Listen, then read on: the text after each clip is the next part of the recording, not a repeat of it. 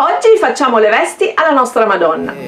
Questa è arte per te, arte per te. Ciao a tutti e benvenuti da Ombretta su Arte per te. Oggi concludiamo quello che è il gesto pittorico sulla nostra Madonna. Vedremo la posizione delle vesti e degli assist di doratura. Quindi non vi rubo più tempo, so che è un gesto che mi avete già visto compiere, ma un po' di ripasso non fa mai male. Spostiamoci sul piano da lavoro e andiamo a vedere cosa c'è da fare. Riprendiamo il nostro lavoro e cominciamo a rimpinguare le vesti di colore. Il colore deve essere abbondante e abbastanza pozzangheroso, lasciatemi passare il termine. Definite gli spazi che andranno o dorati o di altro colore e mano a mano riprendete il prototipo per rendervi conto degli spazi e della loro divisione. Da subito definite gli spazi secondo il loro colore, in modo che poi passando sopra la tempera all'uovo abbiate certezza di gesto e non vi confondiate sulle parti da dipingere in un colore e le parti da dipingere in un altro colore. Vedrete che immettendo il colore definirete anche meglio le parti che già avete scritto. Le mani assumeranno la loro forma definitiva contornandole col colore delle vesti e quindi tutto risulterà più semplice.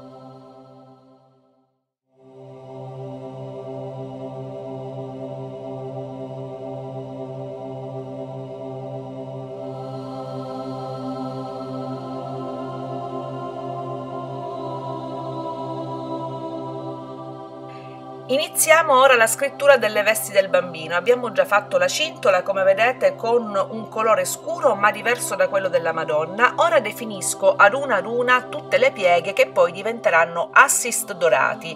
Questo mi servirà per capire l'andamento della veste e soprattutto quando poi la veste sarà colorata e vedrete che sarà colorata con un tono chiaro, avrò le linee guida per poter passare sopra la doratura con certezza. Anche sul vestito del bambinello mi raccomando andate abbastanza copiosi come vedete. Io emetto proprio il colore quasi gocciolante. Ma non ad acquitrino eh, mi raccomando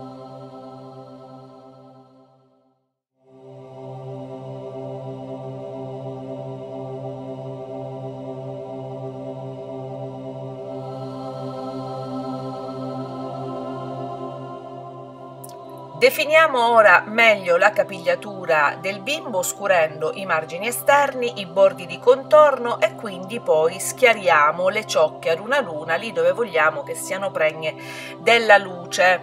Allora, piano piano con pazienza e pennellino sottile e di ottima qualità, mi raccomando mano ferma e controllate bene il gesto. Quindi riprendiamo anche le vesti dando il tono, la tonalità finale a quello che vogliamo addivenire. Quindi un tono pieno, corposo, senza trasparenze. Andate leggeri, copiosi con il colore e soprattutto assicuratevi che lo strato precedente di colore sia totalmente asciutto.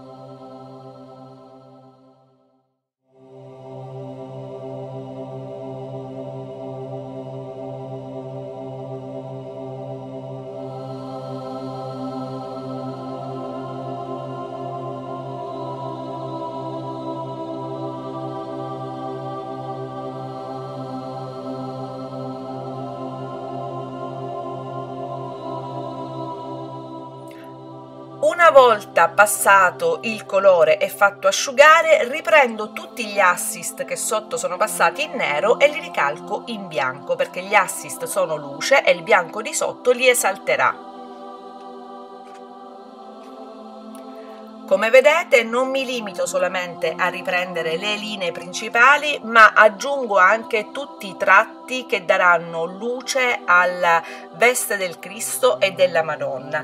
Piano piano, con certezza di gesto, mantenetevi sottili per caso doveste incorrere in errore, il pennello doveste sgocciolarvi grossolanamente, tamponate subito con una salvietta e in caso ripassate il colore base. Nelle vesti, nella parte inferiore, come vedete, sto ripassando il nero nelle zone più marcate d'ombra e poi andrò anche lì a rimpinguare con i bianchi. È giunto il momento delle particolareggiature che poi andranno dorate. Per essere sicuri nel gesto della doratura vi consiglio di ripassarle tutte con tempera all'uovo con bianco in modo che possano rilucere una volta passato il dorato e che voi abbiate un'ottima guida di sostegno alla doratura che sarà qui molto minuziosa.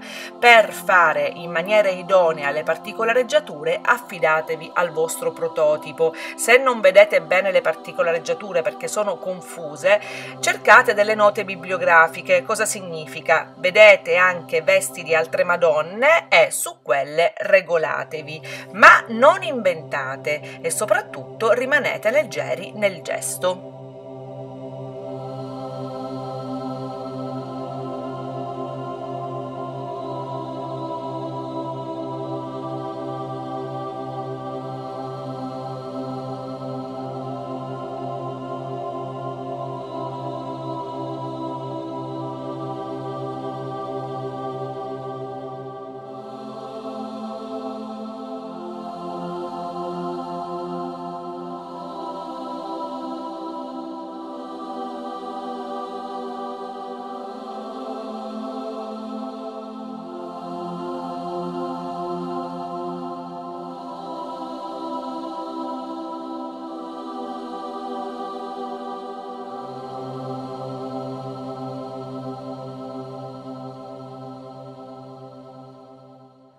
Allora, a posti gli assist e le parti che vanno dorate, passiamo direttamente alla doratura. Non abbiamo finito assolutamente di, di scrivere con la tempera all'uovo, stiamo semplicemente definendo i dorati che poi andranno a sporcare un po' in giro e allora alla fine delineeremo tutto, delineeremo tutti i particolari con i colori e quindi sarà un riprendere tutto quello che avremo fatto fino a questo momento dorare gli assist della mia icona userò dell'oro zecchino, cuscinetto da doratore, un coltello da doratore, questo è il tintoretto 3065, una spatola numero 1 della tintoretto e poi userò una missione all'alcol, cioè una missione istantanea di ottima qualità questa della Ferrario.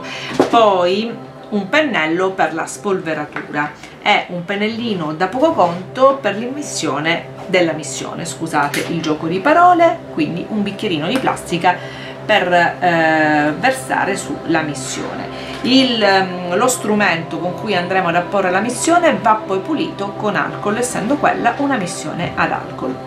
Versiamo una piccola quantità di missione all'interno di un bicchierino e ripassiamo su tutte le parti che vorremmo fare diventare dorate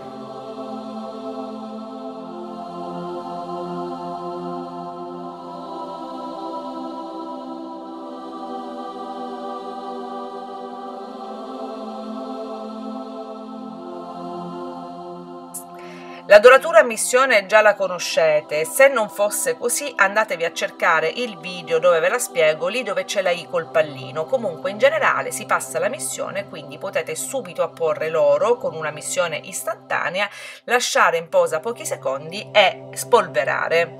Il gesto è lo stesso per tutte le parti da dorare. Mi raccomando, siate precisi.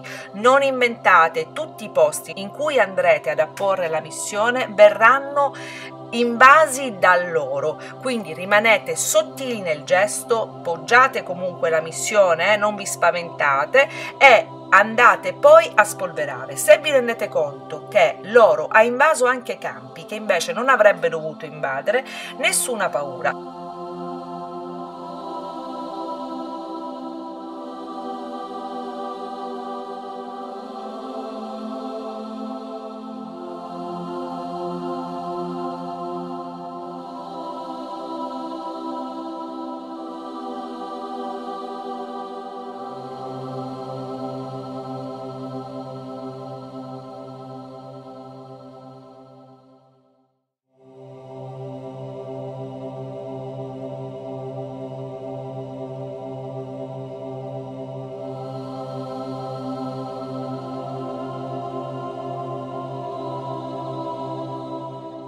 essendo stati molto attenti vi accorgerete che l'oro ha invaso anche parti che non avrebbe dovuto invadere. In questo caso cosa fare?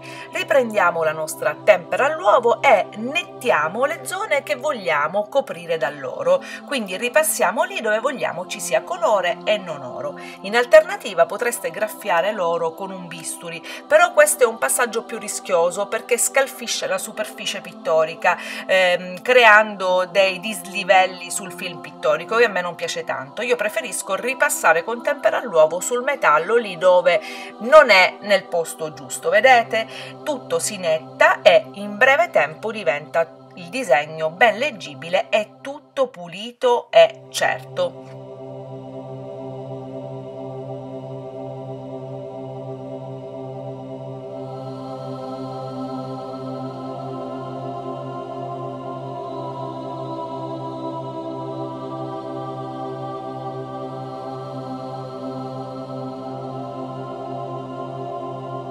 Dopo aver ripreso e rifinito tutta la doratura con un po' di gomma lacca decerata passo sulle parti che ho dorato fissandole e isolandole.